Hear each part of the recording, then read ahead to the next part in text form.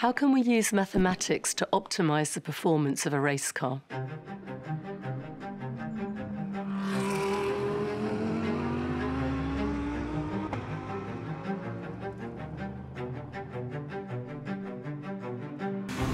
Mathematics can have unexpected real-world applications.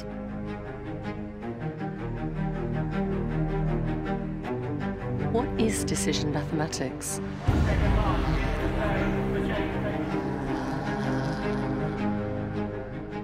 And how can it play a key role in product design?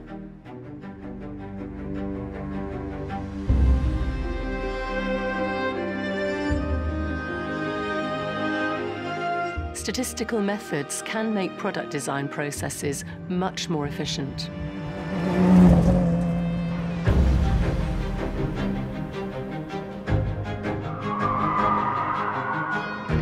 In this subject spotlight, I'm going to show you how concepts of graph theory can help optimize the performance of a race car.